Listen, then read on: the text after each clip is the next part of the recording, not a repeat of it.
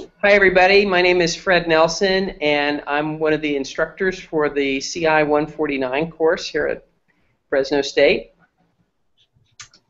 And I'm Alice Keeler. I'm the other instructor for CI 149. Alice and I have been working on this course uh, as collaborators uh, for some time now. Uh, well, anyway, this is our second semester at it.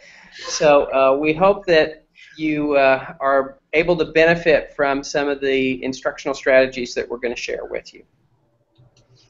Absolutely, and we have a lot of really fun things uh, that we want to introduce and some ideas that uh, may be a little atypical, but um, as with everything that you do, we hope that you will take compilations of things that you like and obviously throw out things that you don't like to facilitate you in your further teaching career.